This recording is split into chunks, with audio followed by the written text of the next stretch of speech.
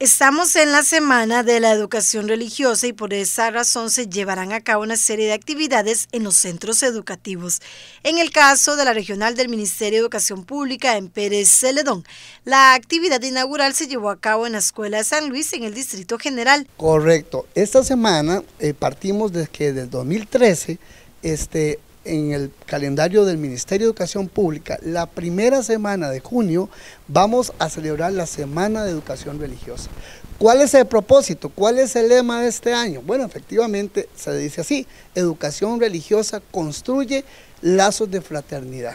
¿Con qué? Con la intención de que en cada centro educativo estemos el amor en medio a veces de las situaciones adversas que enfrentamos tanto los estudiantes, los padres de familia y también obviamente los eh, compañeros docentes. Cada año buscan que sea un centro educativo y circuito diferente, con el fin de que tengan participación. Desde que estamos ya, hace ya casi cinco años en asesoría, hemos querido ir rotando dentro de los 10 circuitos de la Dirección Regional de Educación y hoy correspondía al circuito 05 efectivamente en la escuela San Luis, una escuela pequeñita, una dirección 1, que la idea y la intención era gestar no solamente un acto inaugural protocolario, sino también gestar un acto de magia para los niños y un acto de a partir de la psicóloga de la Dirección Regional de Educación, trabajar en salud mental y disciplina positiva como apertura para que en tantas escuelas y colegios de nuestra región y fuera de ella, porque esta celebración es a nivel nacional, se van a estar gestando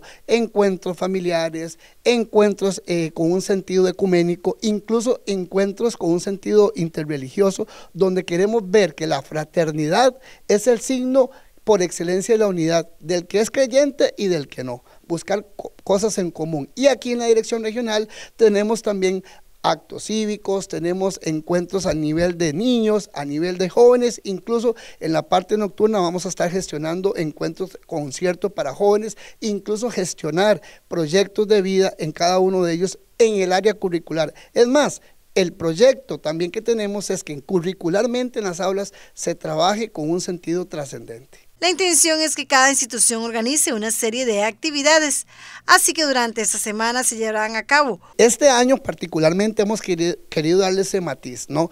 que la educación religiosa, donde haya presencia de un este, compañero docente de religión, incluso donde no lo haya, porque la ley 21 este, lo establece también, que la educación religiosa no solamente puede verse como una asignatura propiamente curricular, sino es que está dentro de esta gama de la educación integral. Entonces vamos a tener varias actividades. Ahorita particularmente esta sería como el acto inaugural y cada centro educativo va a gestar su propia forma de celebrarlo. Una agenda de actividades en diferentes instituciones.